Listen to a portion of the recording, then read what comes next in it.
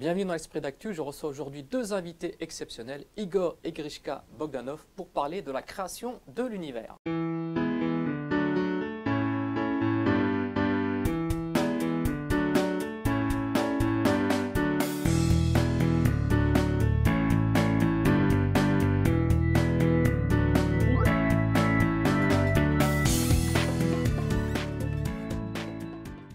Bienvenue Igor et Grishka Bogdanov. Alors faut-il Si, encore si. euh, vous présenter?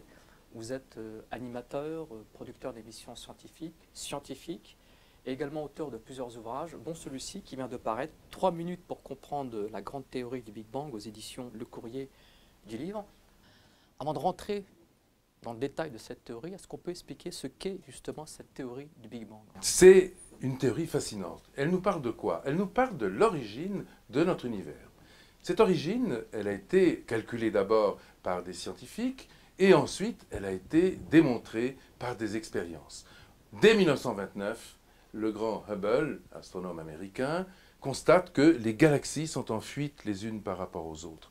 Et ainsi, il donne un socle expérimental, observationnel, à quelque chose qui avait été vu dans les équations quelques années auparavant, en 1922, par le grand Friedman, Alexander Friedman, qui était un mathématicien et météorologue russe, qui lui-même s'est opposé à Einstein, qui pensait que l'univers était fixe. Alors si Einstein pensait que l'univers était fixe, c'est parce qu'il le voyait totalement instable dans ses équations et qu'il a rajouté un terme qui s'appelle la constante cosmologique et qui a fixé l'univers. Donc tout ceci vole en éclats en 1929, on constate que l'univers n'est pas fixe, que ça bouge, et à partir de là, les idées vont s'accélérer. En 1948, Gamow, qui est un élève de Friedman, va trouver, prouver quelque part, euh, il découvre la, ce qu'on appelle la synthèse des éléments légers, c'est-à-dire notamment des noyaux d'atomes d'hydrogène, euh, le Big Bang chaud en quelque sorte, qui naît à ce moment-là.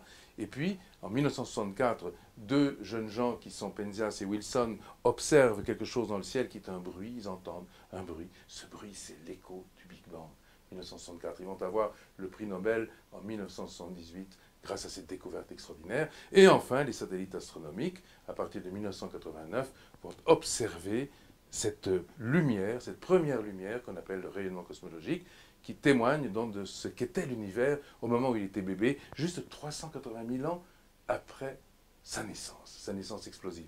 Et d'ailleurs, le premier à avoir observé cette première lumière, qui s'appelle donc John Matter, nous a fait l'honneur de faire la, La préface, préface. de, de notre livre. Il est devenu prix Nobel donc en 2006 à partir de, Et son de- collègue, de là. et son collègue qui va pour la première fois observer euh, cette euh, photographie euh, du, du fond diffus, c'est-à-dire en fait le rayonnement cosmologique, il va euh, trouver ces, ces images tellement saisissantes qu'il va dire, pour moi, c'est comme voir le visage de Dieu.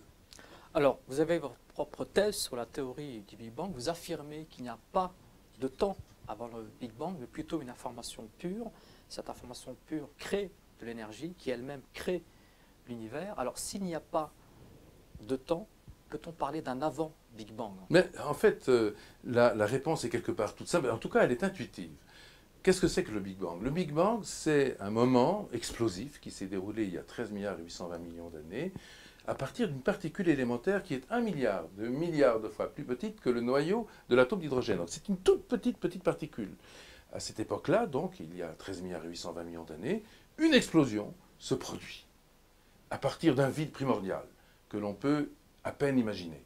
Et cette explosion, elle euh, engendre en trois minutes la formation de tous les noyaux d'atomes d'hydrogène. Vous voyez, dans ce, verre d'eau, il y a des atomes d'hydrogène, c'est H2O donc, et donc les atomes d'hydrogène sont composés d'un noyau et d'un électron qui tourne autour. Or, tous les noyaux d'atomes d'hydrogène de tout l'univers, c'est-à-dire 98% de la masse de l'univers, ont été fabriqués dans les trois premières minutes de vie de l'univers. Et plus jamais après, parce que la température est tombée trop bas, en dessous d'un milliard de degrés. Alors qu'au moment du Big Bang, trois minutes avant, elle est encore de 100 000 milliards de milliards de milliards de degrés. Vous imaginez cette température inouïe, mais c'est celle qu'il faut pour fabriquer des, noyaux d'atomes d'hydrogène. Donc voilà, ça part de cette explosion. Cette énergie, elle se déclenche dans le vide. La grande question qui se pose, mais, d'où vient cette énergie? Qu'est-ce qu'il y avait avant? Comment se déclenche-t-elle? Pourquoi se déclenche-t-elle dans le vide? Et c'est là où nous intervenons, Igor et moi, à partir de 1990, nous nous sommes posé cette question dans deux thèses de doctorat, moi en mathématiques et Igor en physique théorique, deux thèses qui ont fait beaucoup de bruit dans le monde, et dans lesquelles nous avons trouvé des débuts, non pas la réponse complète, mais des débuts de réponse.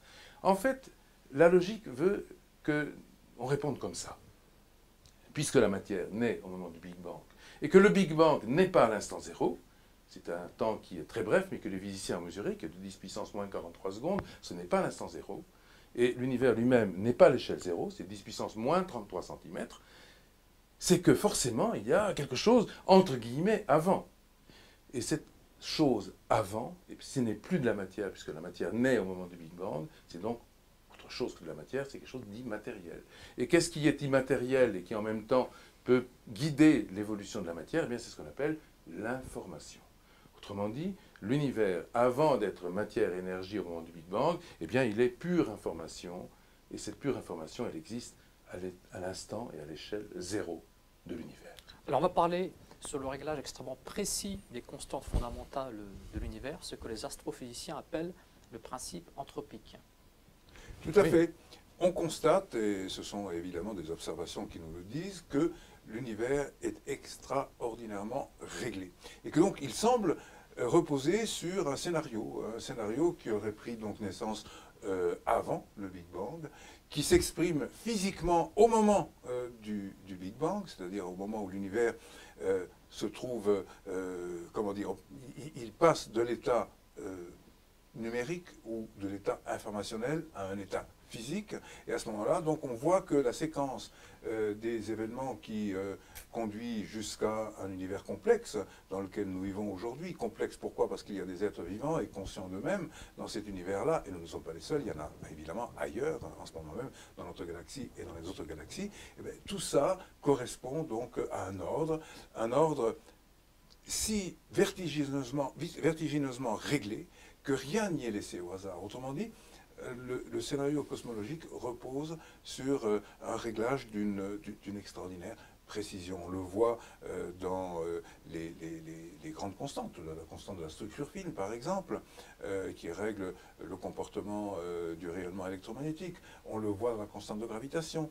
on, le voit euh, dans la constante cosmologique qui est euh, présente au moment du Big Bang. On le voit également dans les nombres purs, on le voit euh, dans le nombre pi, qui est extraordinairement réglé lui aussi. Rien n'y est, aucun chiffre n'apparaît au hasard.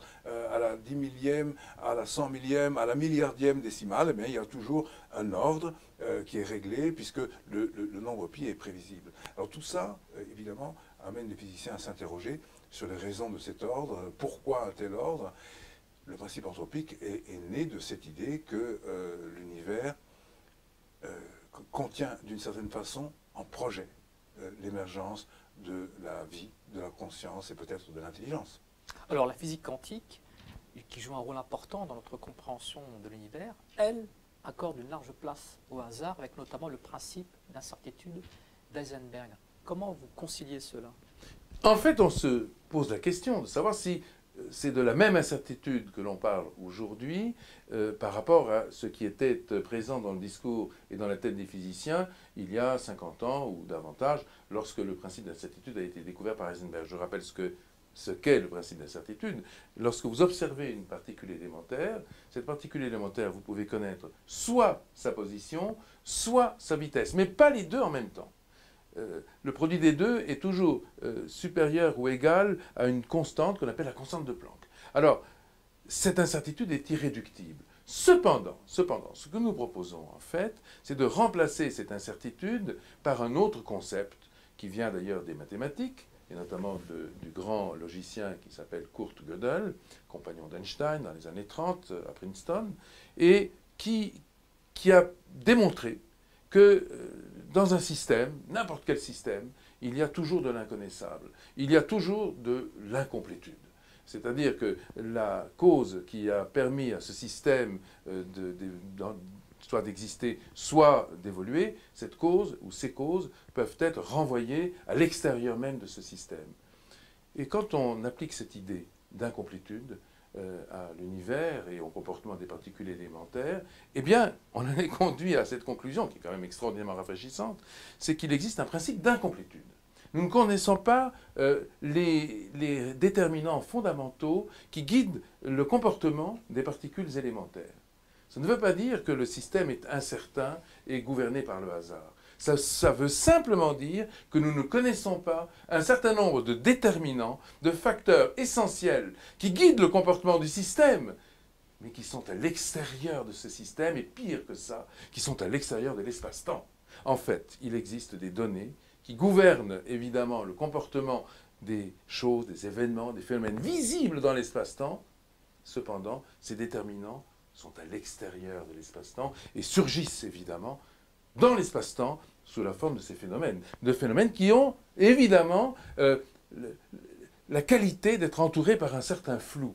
Mais ce flou, il ne relève que, ce qu'on appelle le flou quantique, hein, le, flou, l'incertitude quantique, il ne relève que d'une connaissance de notre point de vue incomplète de ce système, parce que précisément le système n'est pas connaissable, dans la mesure où ses déterminants sont à l'extérieur de l'espace-temps. Alors, dernière question, Dieu revient souvent dans le titre euh, de vos ouvrages, je pense notamment à Dieu et la science. Mais de quel Dieu vous parlez? Est-ce que c'est un Dieu horloger au sens voltairien du terme, ou plutôt un Dieu qui se, rapprochait, qui se rapproche euh, du Dieu monothéiste? Ce serait plutôt un Dieu qui se rapproche de la vision voltairienne. Pourquoi? Parce que euh, c'est euh, la première cause, euh, la cause ultime, si on peut dire, et qui se déduit par, par un raisonnement et une observation de la nature, du scénario, justement, qui, qui est cohérent. Et ce scénario cohérent renvoie forcément à quelque chose qui, à l'origine, l'est tout autant. En fait, lorsqu'en 1936, Einstein répond à un jeune enfant qui lui pose la question, Maître, est-ce que vous croyez en Dieu? Euh, je vais t'envoyer une lettre et qu'il lui envoie cette réponse que nous connaissons aujourd'hui par cœur parce qu'elle est connue dans le monde entier, il lui dit tous ceux qui sont sérieusement impliqués dans la science finiront, finiront par comprendre un jour qu'un esprit se manifeste dans les lois de l'univers, un esprit immensément supérieur à celui de l'homme. Et en définitive, on se retrouve donc renvoyé à cette idée que, un, l'univers n'est pas né par hasard, à partir de l'instant où on admet cette idée, et il faut l'admettre, il faut beaucoup d'ailleurs de courage pour admettre cette idée, parce que la science nous pousserait a priori vers une conclusion inverse, selon laquelle l'univers serait chaotique, mais pour ça il faut inventer des univers parallèles. C'est une théorie qui ne nous semble pas du tout scientifique. Quand on a le courage d'admettre que l'univers n'est pas né par hasard, eh bien on est dans l'obligation, là aussi, de concevoir qu'il existe à l'origine quelque chose quelque chose dont on ne dira pas que c'est Dieu, mais en tout cas c'est quelque chose qui est euh, à l'origine de cette émergence euh, profondément ordonnée, profondément organisée. Ce quelque chose, il correspond, puisque j'ai parlé tout à l'heure du grand mathématicien Gödel, il correspond à l'idée selon laquelle, si on applique le grand théorème de Gödel, qui a été découvert dès 1931 par un jeune homme de 24 ans, beaucoup de ceux qui nous regardent ont 24 ans aujourd'hui, ils peuvent essayer de réfléchir à ce théorème. Eh bien, ce grand théorème nous dit que tout système logique est nécessairement incomplet.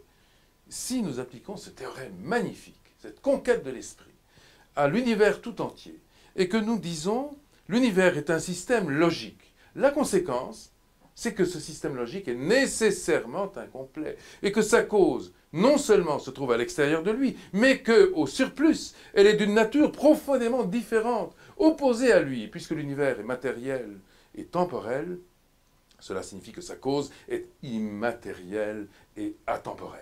Lorsqu'on est avec cette cause immatérielle et atemporelle, prouvée par un mathématicien de génie qu'est Gödel, on est tout près de ce que, en métaphysique, on appelle l'esprit.